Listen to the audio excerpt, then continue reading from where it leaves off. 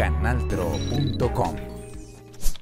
De la falsa información en redes sociales, esta vez es víctima el Ministerio de Educación, que denuncia campaña de manipulación sobre manuales de convivencia para engañar a padres de familia. Nosotros como Ministerio de Educación no hemos repartido ni una cartilla, ni en nuestra página hay una cartilla. El día que vaya a haber una cartilla estará colgada en la página del Ministerio de Educación. Son los padres de familia, los estudiantes, los rectores y los docentes quienes autónomamente tienen que revisar los manuales de convivencia en el país. La discriminación porque el niño es gordo, porque es flaco, porque usa gafas, porque es mujer, porque es hombre, es lo que procura y lo que hace que se constituya un matoneo en el colegio. Por el lamentable caso de Sergio Urrego, la Corte Constitucional ordenó modificar manuales escolares, por lo que UNICEF, mediante su representante en Colombia, lideró el apoyo técnico y creación de talleres pedagógicos. UNICEF cuenta, digamos, con una experiencia a nivel internacional, cuenta con, eh, digamos, la posibilidad de, importar, entre comillas, buenas prácticas de otros países, prácticas que han funcionado en otros países, que tendrán que ser adaptadas, por supuesto, a la realidad colombiana. La ministra de Educación precisó que su labor consiste en aplicar la ley en los colegios para acabar con la división social y el matoneo en las instituciones. Pues en medio de toda esta polémica, docentes y estudiantes consultados por Oriente Noticias explicaron cómo aplican pedagogías en favor de la inclusión y de la convivencia escolar. La periodista Joana Niño nos tiene los detalles. Joana, muy buenas tardes.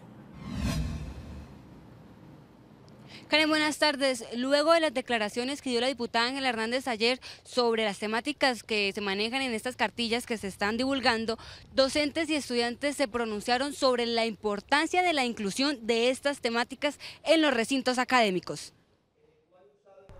Las declaraciones dadas por los diferentes funcionarios públicos el pasado lunes en contra de la inclusión de los derechos de la comunidad LGTBI en una cartilla académica alertó a docentes para esclarecer, según ellos, la realidad de esta información. Que la diputada está confundiendo eh, la sociedad bumanguesa, santandereana y la sociedad colombiana porque las declaraciones no tienen ninguna base fundamental, sino fácilmente se puede comprobar que muchas de las cosas que ha dicho simplemente no son. Entonces lo que yo les recomiendo a la ciudadanía es que verifique, que duden, que miren de dónde se trata, de dónde viene y que no se pongan a reproducir un material y unas informaciones que hacen mucho daño y que no tienen ningún fundamento de ser. Según la docente Zaira Benavides, desde niños es importante educar en la tolerancia y respeto hacia las decisiones del otro. Simplemente yo me siento del sexo que no corresponde con el sexo que yo tengo, mi sexo gonadal. Entonces, ese grupo de personas se llama transgéneros transexuales. Entonces, la, escuela y lo que se busca es que la escuela incluya a ese grupo de personas y les permita vivir unas condiciones de vida digna. Es decir, solamente a ellos si ellos necesitan hacer un cambio, por ejemplo, en, su aspecto físico para sentirse cómodos, que debe estar acompañado no solamente de la escuela, sino también de endocrinólogos, de psicólogos, de cirujanos, de todo lo que, lo, que vaya necesitando en el transcurso de su camino.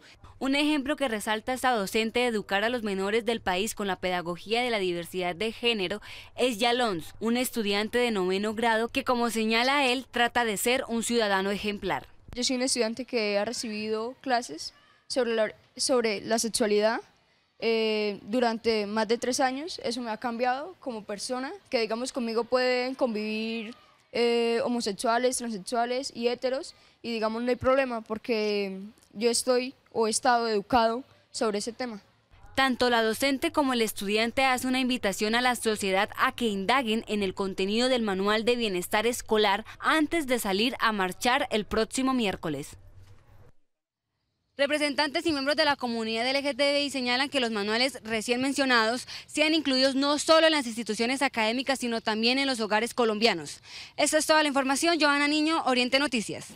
Joana, gracias. Y sobre la marcha contra los contenidos de los manuales de convivencia del Ministerio de Educación, la Secretaría de Educación en Bucaramanga advirtió que ni su despacho ni los rectores tienen como misión negar o aprobar los permisos para que los estudiantes asistan a este tipo de eventos. Esa es la invitación a que tengamos una jornada eh, normal en las instituciones educativas.